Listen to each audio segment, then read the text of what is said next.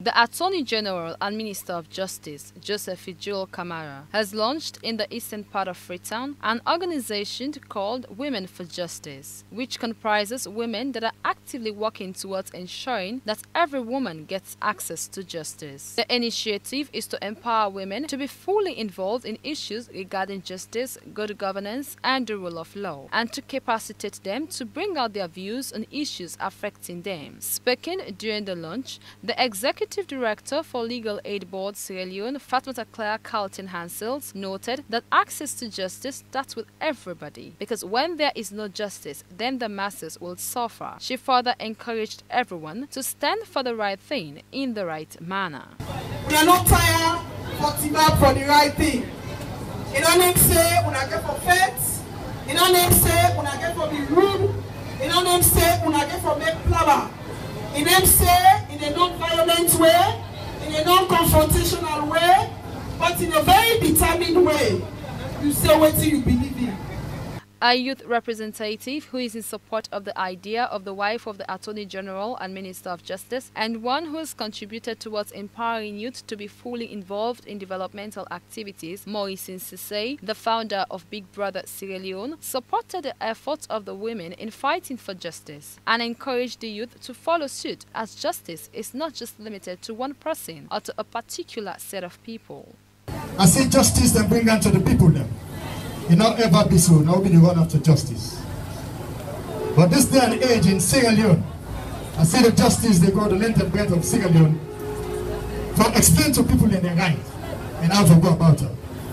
So therefore, the youths, when I don't see what the woman they do. I challenge on I want to say for why are we youths for justice. The man they why men for justice. Challenge the woman them. Let's take the fight. The Attorney General and Minister of Justice, Joseph Joel Kamara, in the keynote address, said that so far a lot has been done to improve the justice system in the country, and many people are now immensely benefiting from it. You want to talk about justice? You for don't feel waiting at injustice. You not go able for facts for person if you don't want the facts. I can tell people and say that pain when you they get, when you suffer, if pass that pain when they cut you hand or they cut you foot, that pain when they say you chest. Sometimes we can call am chest pain. When you dey interpret justice, you for make sure say the way you dey interpret am, the people dem for able feel am well. You need to interpret am for punish people dem. So me family dem, today when we dey talk so, women for justice na dey call we na ya. But we all know gap we come for can listen. Now we know wetin dis government don do for women dem and wetin dis government don do for justice? Today as i dey talk to una so i don hundred days na office. Inside the hundred days we don't free over 500 people that come up Road. He further encouraged women to contribute meaningfully towards ensuring that the justice system in the country grows from strength to strength as they in governance continue to look forward to a prosperous Sierra Leone where everyone matters in the governance system of the country.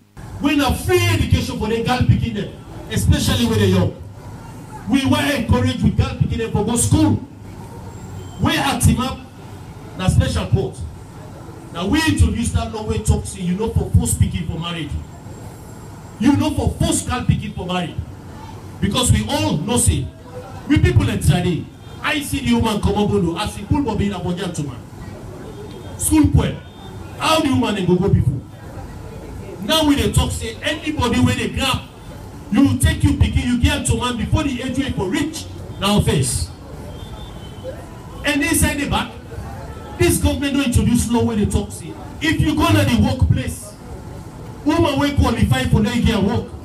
Before you get work, you say pass you sleep with her. No offense. Members of the organization expressed thanks and appreciation to the wife of the Attorney General and Minister of Justice, Madam Lynette Kamara, for unflinching support. They vowed to work actively in, a, in achieving justice and pledged their commitments towards ensuring that they contribute meaningfully towards the justice system in the country, as they have suffered for far too long. The whole program was followed by a lunch and a cutting of the launching cake. For Star Television, Adama Sillah reporting.